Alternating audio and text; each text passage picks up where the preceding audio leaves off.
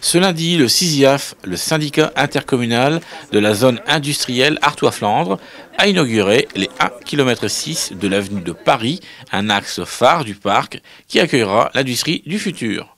Alors déjà, euh, c'est un projet qui a commencé en 2015. 2015, Française de Mécanique nous disait on va libérer du foncier, est-ce que vous êtes intéressé pour euh, le récupérer? Donc nos élus euh, ont rapidement donné leur accord. Aujourd'hui, euh, le, chantier CISIAF a démarré en septembre 2021 et prend fin dans les semaines qui viennent. Hein. Il nous reste quelques finitions à faire. Euh, les parcelles que nous avons développées ont privilégié des entreprises quand même d'activité industrielle. On va également, euh, au-delà des entreprises, accueillir des services. Hein, pour euh, améliorer le, confort des usagers du parc, que ce soit les, entreprises, leurs salariés ou les riverains. Et donc euh, un pôle de vie qui sera les prochains travaux après cet aménagement qu'on inaugure aujourd'hui. Vraiment, cette, euh, cette création de l'avenue de Paris était rendue nécessaire pour permettre l'installation d'ACC. Et j'ai pu, à cette occasion, vraiment féliciter et remercier le CISIAF hein, pour son action de gestion de cette, euh, de cette zone industrielle qui euh, accueille aujourd'hui 100 euh, entreprises.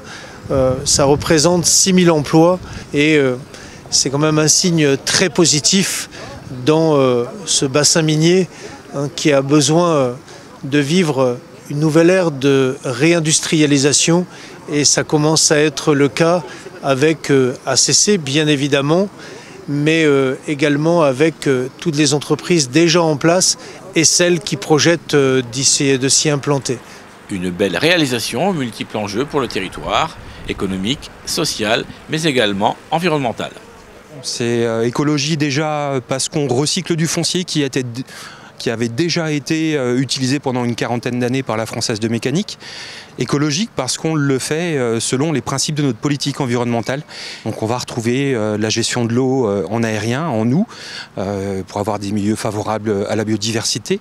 On va avoir un éclairage solaire non raccordé au réseau, particulièrement innovant, avec de la détection de présence et on va refaire beaucoup, on a fait beaucoup de, recyclage, des milliers et des milliers de tonnes de matériaux issus du du, site ont été euh, réinjectés dans, les aménagements. Euh, donc voilà, cette partie du, projet est en route et est déjà complète.